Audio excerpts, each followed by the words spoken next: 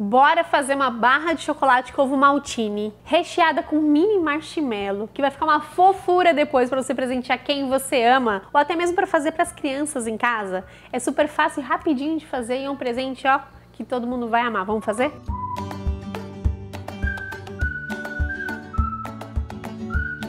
Eu vou começar derretendo chocolate branco. Eu estou usando chocolate em pastilhas, aqueles mais miudinhos, mais fáceis de derreter. Esse aqui é uma cobertura, mas calma, não me julgue.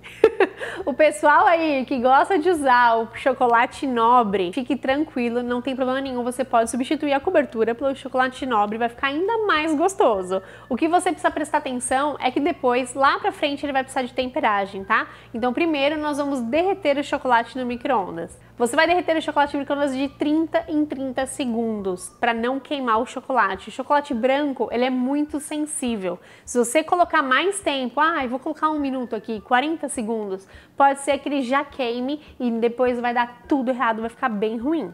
Presta atenção. Derreteu o chocolate, foi algumas vezes lá no micro-ondas, mistura, ele precisa ficar sem nenhum pedacinho. A gente quer ele bem fluido, bem fininho, tá? Lembrando, se você estiver usando chocolate nobre, nesse momento você precisa fazer a temperagem, chegar na temperatura correta. E se você não souber temperar, quiser muito usar o chocolate nobre, não souber temperar para fazer bombom, trufa, banhar pão de mel, fazer até essa barrinha aqui, comenta aqui embaixo comigo que a gente pode gravar um vídeo para você. Eu vou usar aqui uma forma para fazer uma barra de chocolate de uma parte só. Não é aquelas, aquela forminha que você encontra de três partes, que tem o silicone, a parte rígida, não. Ela só tem uma parte, a mais simples e mais baratinha que você vai encontrar. Eu vou colocar ela na mesa e vou acomodar alguns mini marshmallows. Eu escolhi um mini marshmallow branco, mas tem várias cores que você pode comprar por aí. Não tem na sua cidade? Existem várias lojas virtuais online que você pode pedir e chegar aí na sua porta. Depois vale a pena buscar tá bom? Ele chega e tem várias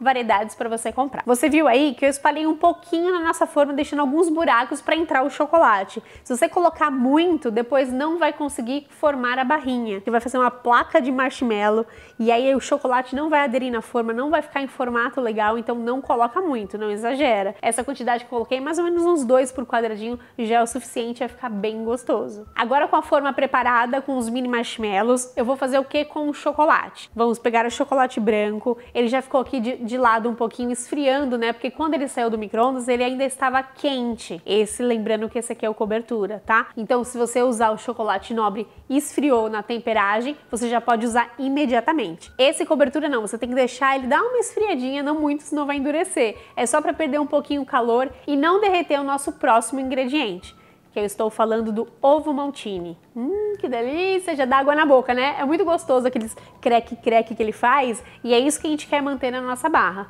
Se acrescentar no chocolate quente, você não vai ter creque-creque nenhum no final. Misturou tudo, agora a gente já pode colocar o nosso chocolate em cima dos mini marshmallows. Coloca com cuidado, tá? Porque para não exagerar muito e transbordar. Coloquei uma barra ali, já vou dar uma chacoalhada antes que ele endureça, né? Para depois a gente fazer a próxima barra.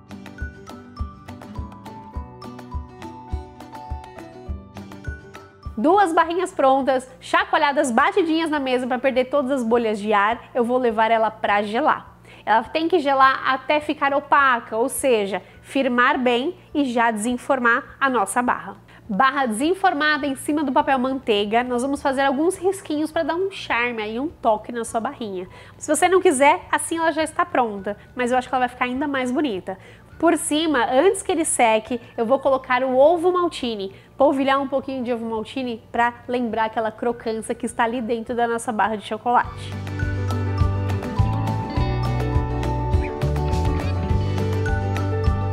Olha que linda que fica a nossa barra.